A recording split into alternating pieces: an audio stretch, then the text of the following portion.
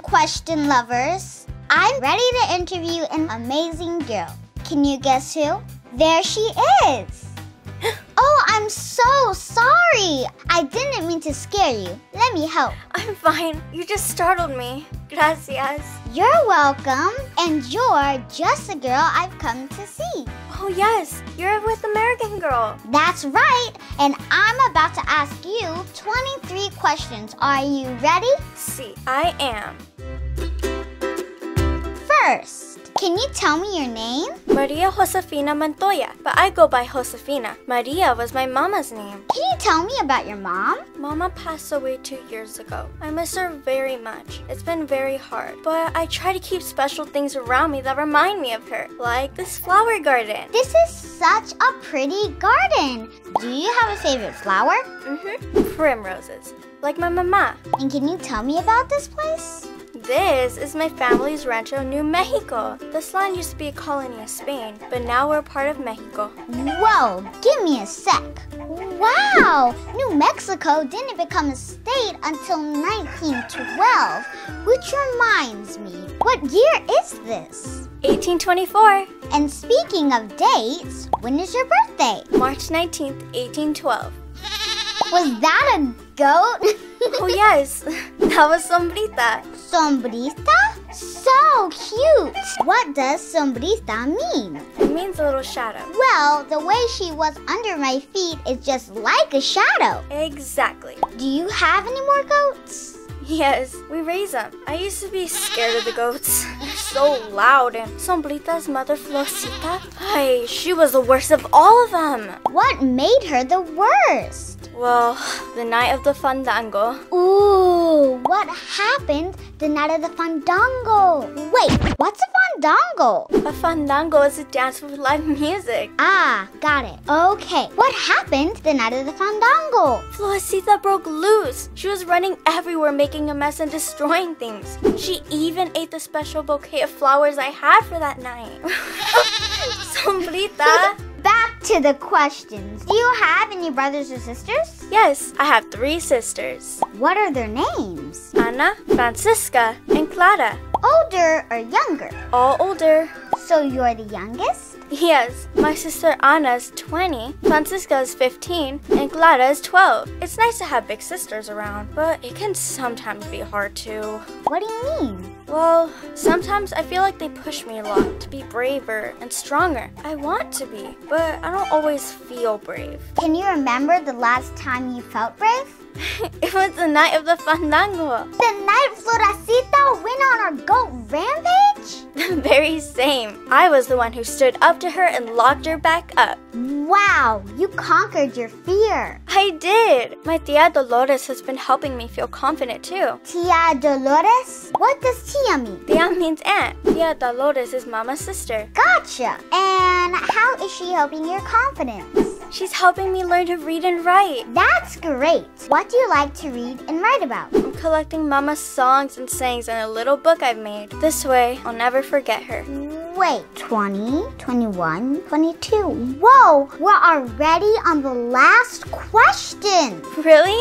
So fast. All right, if you could tell all the girls in the world one thing, what would it be? You're always given second chances. We just have to be brave enough to take them. That's it for today. I hope you loved getting to know Josefina as much as I did.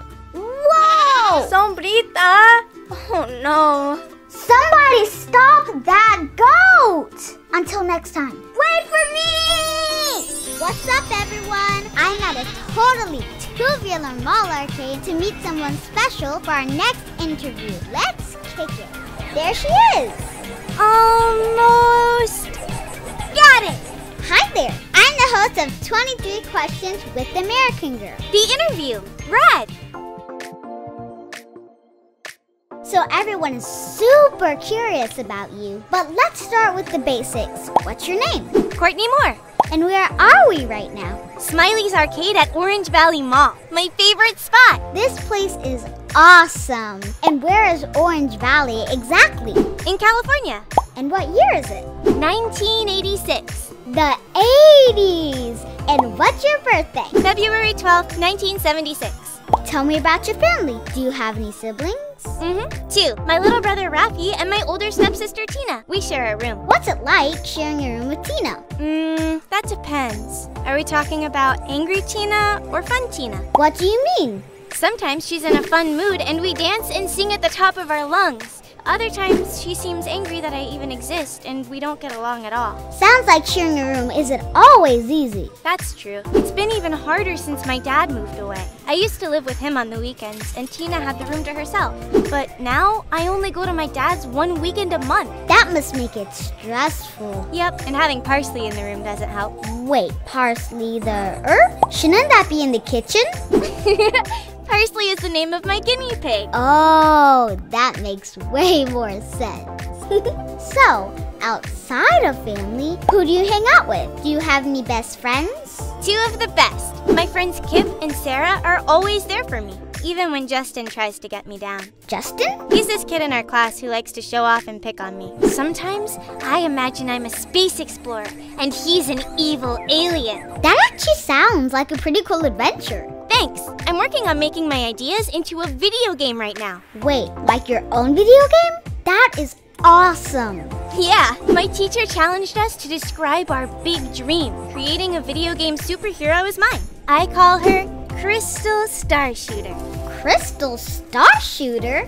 Sounds epic. What does she do? She explores space and works with aliens to find ways to help Earth. Wow. How does she help? Well, did you know there's a hole in the ozone layer? The what layer? The ozone layer. It protects the Earth from harmful rays, but there's a giant hole in it. Crystal Starshooter wants to fix it. That's incredible, Courtney. Thanks, but it's just a game. But there are real heroes working on it, like my mom. What is your mom doing for the Earth? She's getting the word out about recycling so we start taking better care of the planet. But that's not all. Don't leave me hanging. What else is she doing? She's running for mayor. That way she'll be able to really get the word out. Cool. Is it fun having a mom who's running for mayor? Sometimes it can also be frustrating. Why is that? Because I think she would be an amazing mayor, but people seem to think that because she's a woman, she isn't right for the job. That doesn't make sense. I don't like that at all. Exactly. It sounds like she really inspires you. Do you have any other heroes you admire? I really admire the real space explorers, astronauts, like the crew of the Challenger shuttle. Do you know about the Challenger crash? I don't. What happened? The shuttle had a malfunction after takeoff and basically disappeared. It was really hard to see. You saw it happen? People all over the world watched the explosion. It was on live television. We had been looking forward to it at school for a long time. That must have been so hard. It was. And scary too. I didn't really know how I felt. But now I feel it's even more important to keep dreaming big, to honor them. That's a great way to look at things. Do you have any other advice for our viewers? Don't let anyone tell you something isn't possible. You might be the one that makes it happen. Great advice. Are you ready for your final question? It better be a rad one. Can you show me how to play this game? Totally. Thanks for getting to know Courtney with me. Until next time. Ready? Okay, ready. Hit start. Okay. Just be sure to stay away from the ghosts. That's okay. Let's try again. Oh, stay away from the ghosts. We might be here a while. Hi, everyone, and welcome to another fun, educational, fun educational 23 questions with American Girl. Yay! Today I've traveled all the way back to 1764, and I've got the questions, but who's got the answers? Let's go find her. Not here or here. There she is. Hi. Hello, are you the one I was told to expect? The one with the 23 questions for me? That's me. It's so great meeting you. Are you ready to start? I am. Perfect. Let's start with the basics. What's your name? Kaya Atonmai. Wow, that's really pretty. What does it mean? It means she who arranges rocks. Oh, is that an important job in your tribe? Yes, only women elders can arrange the stones for our secret lodges. My mother wanted me to grow up to be as respected as they are. Do you have any nicknames? Well, most people just call me Kaya, but some people call me Magpie. Magpie? Why do they call you that? They say magpie birds only think of themselves. Some people think that I am like that, selfish, but I am not. I just rush into things before thinking sometimes. Oh, girl, I do that too. If you're a magpie, then so am I. I like you. I like you too. And this place is beautiful. Where are we exactly? We are in the beautiful Wallowa Valley. My tribe travels through the seasons, but Wallowa Valley is our home. That's in the state we call Idaho today. Who is your tribe? My tribe is the Nimi Poo. Nimipu. Today, the tribe is also known as the Nez Perce. What does your original name, Nimipu, mean? It means the people. I like that. Speaking of people, who are the most important people in your life? Oh, there are so many. My father Tota, my mother Eetsa, my older sister Brown Deer, my twin brothers Wingfeather and Sparrow, and my sister Speaking Rain are my closest family, but we live with Minnie. Wow, big family.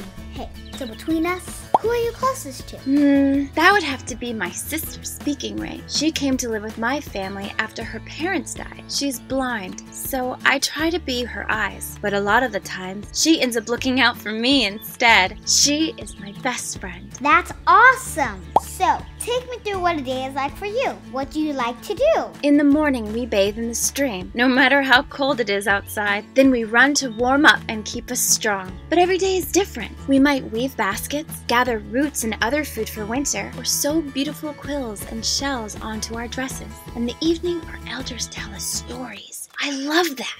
Oh, and I love riding my beautiful horse. You have a horse? I do! She's right over there. Would you like to meet her? Hmm, yes, please. Whoa, she's beautiful. And she has a baby, too? What are their names? The mother is steps high, and the foal is sparks flying. You get along so well with animals. It sounds like a really great life. It is! We always have animals near us. From the time we are born, my cradle board was hung from the saddle of my mother's horse when I was a baby. When the horse walked, the cradle board swayed and lulled me right to sleep. When I was old enough to walk, we traveled with the pack dogs in front of me and behind me to keep me safe. Wow, I wish I grew up so close to animals. Do you ever feel like you can understand them? My elders tell stories about honoring and respecting all creatures. We believe that long ago, animals talked just as humans do. The only reason animals no longer talk is that humans stopped listening to them. Still, I think I can understand what Steps High and Tatlo have to say to me most of the time. I kind of feel that way about my pets too. What's the most exciting adventure you've ever had with animals? Mm, that would have to be the time Steps High, her foal, and I escaped a wildfire. That fire growled like a bear as it chased us. Our eyes stung and our throats burned with every breath. It was all I could do to cling to Steps High as we tried to find our way out. The smoke cleared just for a second,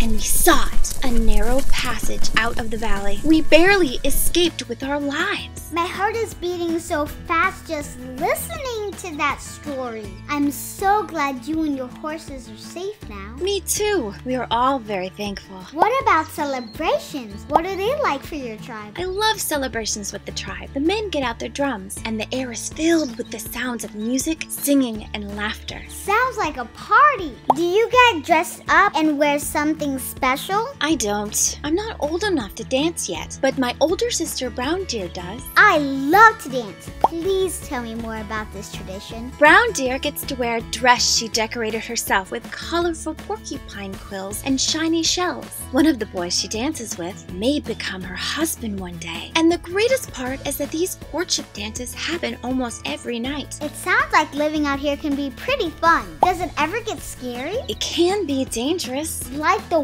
wildfires? What other dangers are there? One time, Speaking Rain got swept away by a river, and Steps High and I had to ride into the river to save her. Wow, that does sound scary. You're a hero. I do not know if I am a hero, but I do hope to be one someday, just like my hero, Swan Circling. Swan circling? Who's that? She is a warrior in my tribe. She is brave and always willing to help others. The way you describe her, she sounds amazing. Speaking of, for our last question, how would you describe yourself? Hmm, I would say I am adventurous, animal loving, and daring, but with a generous spirit. I love that. Thank you so much for your time, Kaya. You are welcome. And thank you for tuning in. Now I'm going to go pet this ridiculously cute horse. Until next time, question lovers. hey, are you watching me? Because that's exactly what I want you to do. I'm your host, and this is another 23 Questions with American Girl. I was told to wait here until she. Here I am. Sorry I'm late. I had to feed my neighbor's cats. Are you from 23 Questions? I sure am. Are you ready to get started? Is that the first question? no. First question starts right now.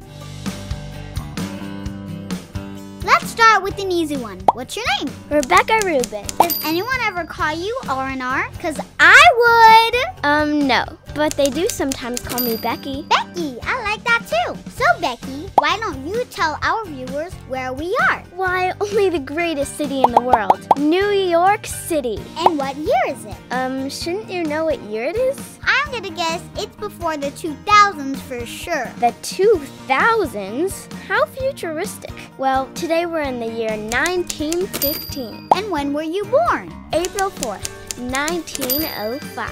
So you're an Aries. Oh, whatsies? Okay, 1905. So that makes you 10. exactly what I was going to say. So, aw, who are these little balls of fluffy cuteness? They're the kittens I mentioned earlier. They're Mr. Rossi's. I'm taking care of them while he's away. Ugh, jealous. Are you and Mr. Rossi close? He's the janitor at our apartment building, so my siblings and I see him around quite a bit. Oh, how many siblings do you have? Well, there's my two older sisters, Sadie and Sophie. They're twins. Then there's my older brother Victor and my younger brother Benny. Wow, what's it like having older twin sisters? It can be annoying when they try to boss me around, but I do get two sets of hand me downs. Like I always say, the only thing better than one free dress is two free dresses. And by always say that, I mean just not for the first time. But enough about me. I have so many more questions like, what do you do for fun? Well, I love to crochet, and I like helping out at my dad's shoe store, and I really like school and learning. Ooh, what's your favorite subject? Math. My grandpa says I'm a math wizard, but I also love reading. What's your favorite book? It's called Rebecca of Sunnybrook Farm. Rebecca? Just like you. yes, only this Rebecca lives on a farm with her two aunts and has adventures. Sounds cool. You know what I love about school? Getting to see my best friends. Do you have a best friend? I'd say Rose Krensky is probably my best friend at school. Shout out to Rose Kranksky. What's a shout out? Trust me, there'll be a thing in the future. So, love school. Do you want to be a teacher one day? That's what my parents want me to be. What do you want to be? An actor, like my cousin. So cool. Who's your cousin? Moisha Shereshevsky. I mean, Max Shepard. He changed his name when he became a movie actor. He's moving to Hollywood with a big movie company. That's really cool. Wish my parents thought so. Why don't they? Because they think acting is not a respectable life for a young lady. And after everything my parents and grandparents went through to get here and make a good life, Get here to New York? to America. My mom and grandparents came from Russia. Things were getting bad there, so they came here. Wow, how great that they came to America. Is your Russian heritage a big part of your life? Mmm, sort of. Really, my Jewish heritage is the most important thing in my family, both to me and my parents. Is that so? Yo, Huh? sorry, yo is Yiddish for yes. Right, of course. Yep, um, quick question. What is Yiddish? Yiddish is the language of Jewish people from Europe. And you speak it fluently? I do. My whole family does. What does being Jewish mean to you? It means having compassion for others and always trying to do the right thing. I especially love Sabbath dinner when the whole family comes together. Okay, well, one last question so you can get ready for dinner. How would you describe yourself? Mm, I'd say I'm confident, entertaining, dramatic, and unconventional. Speaking of, I have a question for you. Wait, I'm supposed to be the one asking the questions. Am I dressed okay? I wore this to ask questions. Is it a good answering outfit too? Here's the question. Since it's Friday night, would you like to stay for Sabbath dinner with my family? Hmm, I'd love to. Until next time, my curious companions.